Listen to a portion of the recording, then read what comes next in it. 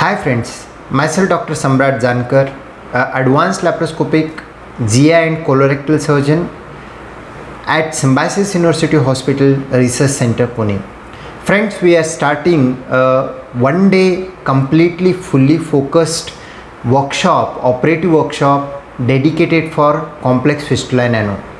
Friends, the question will arise why a single focused theme based workshop? Friends, if you go back to our MBBS days, one of the most important but least dissected part in cadaver is perineum.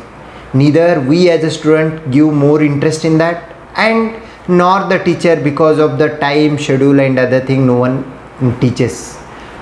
If you come back to again final year MBBS, that same story continues. Fistula is or perianal anatomy is least important or least bother topic.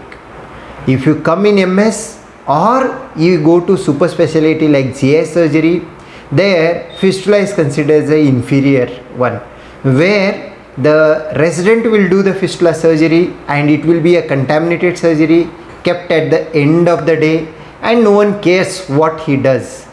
So where we are getting the proper fistula training.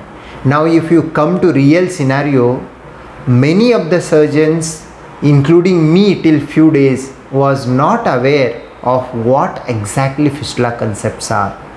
And also we are stuck in between two where we don't want recurrence and also we don't want incontinence. Where to balance how to balance is a real challenge for surgeon life.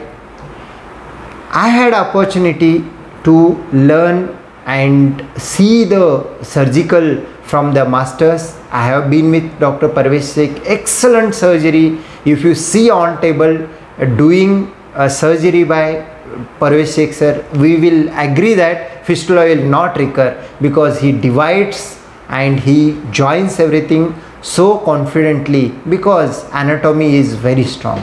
And i have seen another master dr arun sukal who does lot of work in fistula LIFT procedure and he also teaches lot. I was been with Dr. Arun Rajna Sukal, so generous these masters are. Their intention is to teach the new generation and give the concept. So here last near about 2-3 year I am doing, in fact my thesis was on fistula. I thought let's start something dedicated many of the few of the surgeons are doing dedicated fistula training. Now we at the symbiosis want to dedicate one day for training the fistula so that we all together sit. I can discuss what my concept are. I can discuss what need to be done. We go through the anatomy radiological concept how to read the mri that is a big challenge for the surgeon and how to interpret the fistula on MRI. What are the different technique? Rather than technique, we need to go for the concept of fistula treatment and we will go to the operative also few of the patient we are collecting. So let's friends come join us for one day a focused workshop on fistula in ano which will be dedicated conceptual workshop and you will gain lot of thing spending one day here